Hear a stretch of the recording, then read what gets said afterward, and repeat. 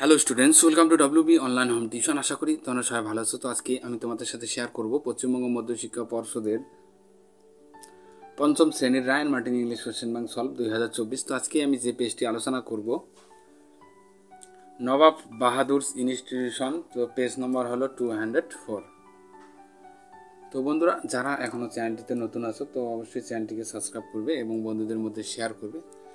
আর যারা এখনও আগের ভিডিওগুলি দেখনি বা পরের ভিডিও দরকার, তো অবশ্যই এই ভিডিওটি ডেসক্রিপশন বক্সে একটি প্লে লিস্টের লিঙ্ক দেওয়া আছে। তো তোমরা সেখানে গিয়ে আগের ভিডিও বা পরের ভিডিও বা গ্রামারগুলি দেখতে পাবে। তো এ দাগের complete the following following chart about Kalpana Chawla with information from the text তো টেক্সট থেকে আমরা ইনফরমেশনগুলি নিয়ে পূরণ করব। তো এখানে বলা হচ্ছে যে প্লেস অফ বার্থ মানে জন্মস্থান কোথায়? Karnal in the state of Haryana তো কল্পনা চাওয়ালা আর কি হরিয়ানার কার্নালে জন্মগ্রহণ করেন। ইয়ার অফ বার্থ কত সালে? উনিশশো বাষট্টি সালে। নাইক নেম তার ডাক নামটা কী ছিল? Montu. Year of join S T S eighty seven mission মানে S T S eighty seven মিশনে যোগদান করেন কত, নভেম্বরের মানে নভেম্বর মাসে উনিশশো ছিয়ানব্বই সালে। Name of the space shuttle. তো ওই স্পেস শাটলের নামটা কী ছিল? মানে মহাকাশ যানটির নাম Columbia. Name of the then prime minister. তো তৎকালীন প্রধানমন্ত্রী কে ছিলেন? মিস্টার ইন্দ্রজিৎ কে গুজরাল ছিলেন, তখন তৎকালীন ভারতের প্রধানমন্ত্রী। তো এরপরে দেখো বি দাগের complete the following sentence with information from from the text তো টেক্সট থেকে আমরা ইনফরমেশনগুলি নিয়ে পূরণ করব। তো এখানে বলা হচ্ছে যে নাম্বার ওয়ান দেখো, Kalpana went to the USA to. তো কল্পনা মার্কিন যুক্তরাষ্ট্রে গিয়েছিলেন। Study at the university of Texas at Arlington number two, Kalpana again went into space on তো কল্পনা আবার মহাকাশে যান আর কি, তো aboard the space shuttle Columbia. তো এরপরে সি দাগের অ্যান্সার দ্য ফলোইং কোশ্চেন্স, তো what job did Kalpana take up in nineteen eighty eight? Kalpana উনিশশো অষ্টআশি সালে কোন চাকরি নেন?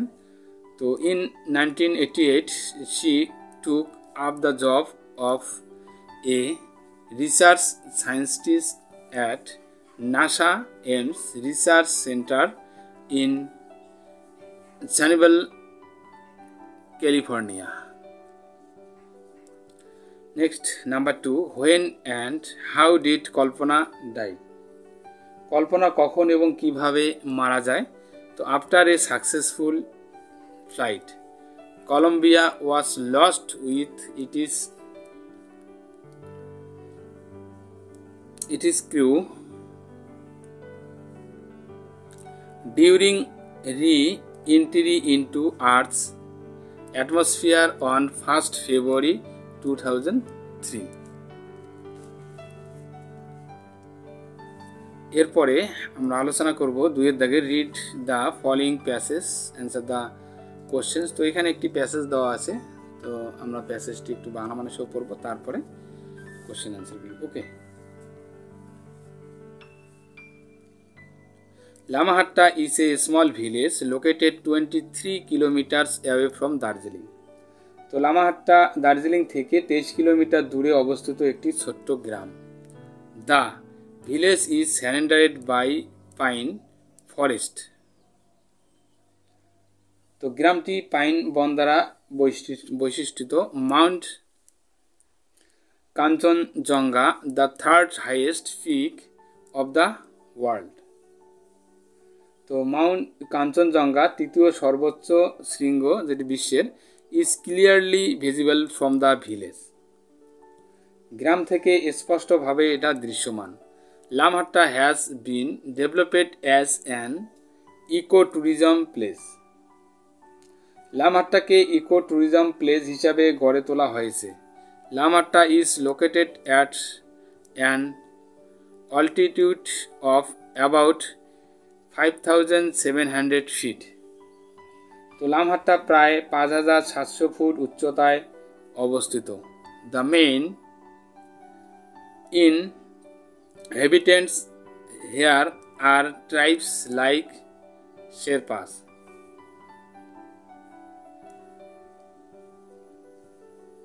তো Lamahatta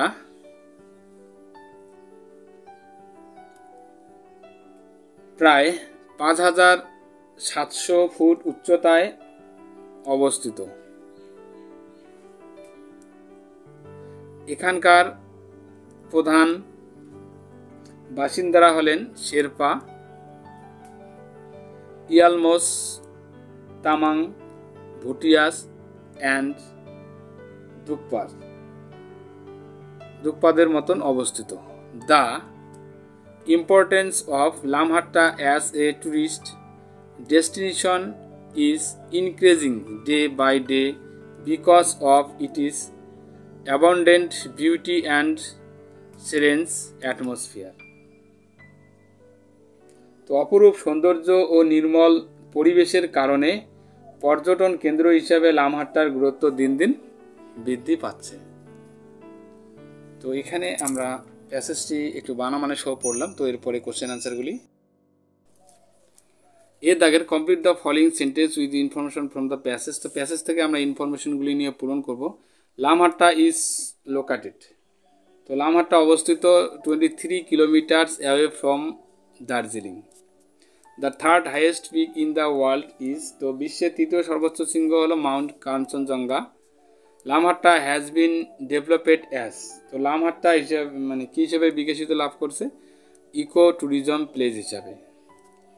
Lamahatta is located at an altitude of তো লামহাট্টা একটি উচ্চতায় অবস্থিত about five thousand seven hundred feet তো এরপরে বি দাগের অ্যান্সার দ্য ফলোইং কোশ্চেন্স তো who are the main inhabitants of Lamahatta তো লামহাট্টার প্রধান বাসিন্দা কারা? The main inhabitants here are tribes like Sherpas Yolmos Tamangs Bhutias and Dukpas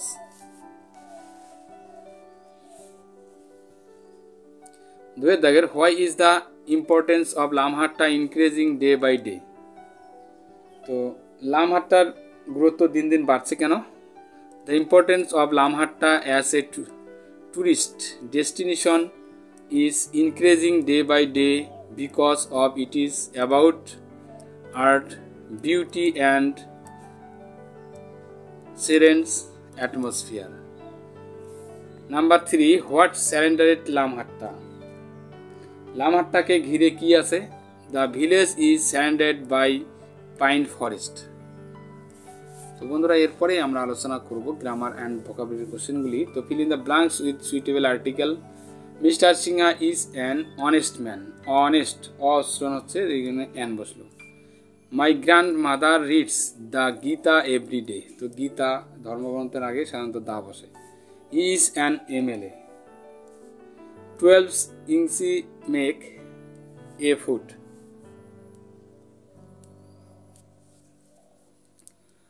four মানে number four, fill in the blanks with appropriate preposition তো, a fan is hanging in ceiling there is a vase on the table I go. I go to school every day. A cat is sleeping on the bed. পাশের দাগের fill in the blanks with the correct forms of the verb given in the brackets. They drink coffee every day. Varun sleep হবে Varun sleep upstairs right now Subir sing আছে sang হবে Subir sang a patriotic song yesterday I am work আছে I am working on a special report today তো এরপরে ছয়ের দাগের কোশ্চেনটি আলোচনা করব। Fill in the blanks with words from the help box তো হেল্প বক্স অনুযায়ী আমরা এখানে সাজাবো আর কি। তো এখানে বলা আছে keep away from wild animals তো উইল্ড মানে হিংস্র প্রাণী থেকে দূরে থাকতে হবে আর কি। তো the players are ready for the game খেলাধুলা করার জন্য মানে প্লেয়াররা খেলোয়াড়রা আর কি করছে রেডি হচ্ছে আর কি। এখানে রেডি হবে। The enemies made a sudden attack most people have sweet memories হবে এখানে। মেমোরিজ আছে মেমোরিজ অফ চাইল্ডহুড